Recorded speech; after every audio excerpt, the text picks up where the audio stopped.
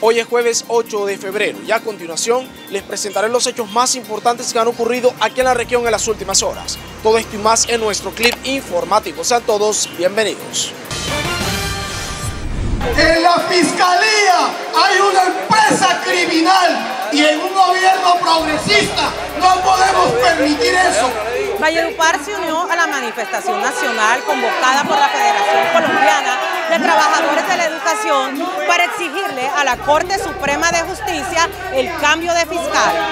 Y usted puede mirar que en la historia del país nunca antes se había enviado una terna con tanta antelación para su estudio ante la Corte, para evitar todo este tipo de trabas porque eh, eh, se sabía o se, eh, se podía pues entender de que estaba de que se iba a presentar algún inconveniente con el tema. Es de anotar que FECODE está siendo investigado por el supuesto aporte a la campaña presidencial de Gustavo Petro.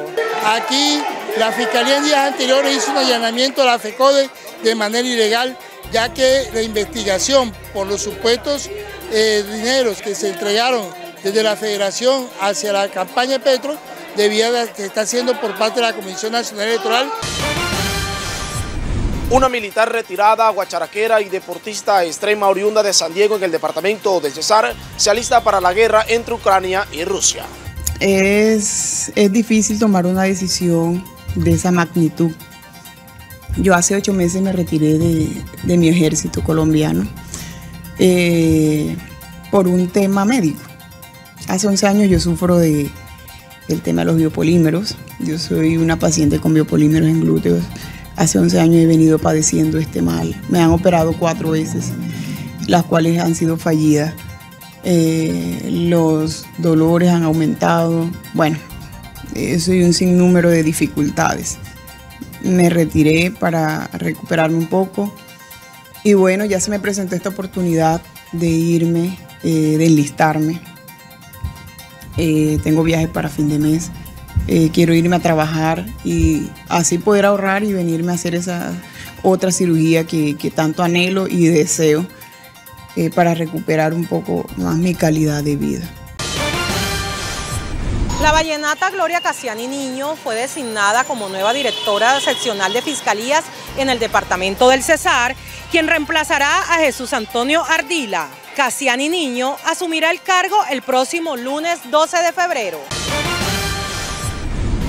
Luego de la victoria en condición de visitante, dos goles por uno enfrentando al Envigado, el Alianza FC, el equipo de Valledupar, escaló dos posiciones en la tabla ubicándose en la casilla 16. Este domingo a partir de las 8 y 20 de la noche disputará su partido de local enfrentando al Deportivo Pereira, aquí en el Estadio Armando Maestre Paballo. Digamos que los dos goles que hicimos en inferioridad numérica debimos haberlo hecho en el 11 contra 11 los, los dos mismos jugadores. Si usted recuerda, en el primer tiempo Batalla entra al área, queda diagonal a, portería y, y, engancha y juega atrás. Y Topo también por sector derecho entra y define al segundo palo y se va cerca. Yo creo que por todo lo que hizo Alianza, por su actitud, por su fútbol, por el planteamiento y el replanteamiento, yo creo que fuimos justo ganadores hoy aquí en, en el Parque Estadio. Un menor de edad resultó herido en medio de un ataque sicarial registrado en las últimas horas en el barrio Nancy Lobo del municipio de La Cagua de Iberico. En el hecho resultó gravemente herido Andrés Esquivel Navarro de 38 años, padrastro del menor a quien iba dirigido el atentado. El niño fue alcanzado por uno de los proyectiles cuando se fue a refugiar a los brazos de su madre. En el momento que presuntamente manipulaba un arma de fuego, el auxiliar de policía Dustin Danilo León Navarro, natural de Valledupar, perdió la vida en el municipio de La Batea, en el norte de Santander. Las autoridades investigan para esclarecer este caso.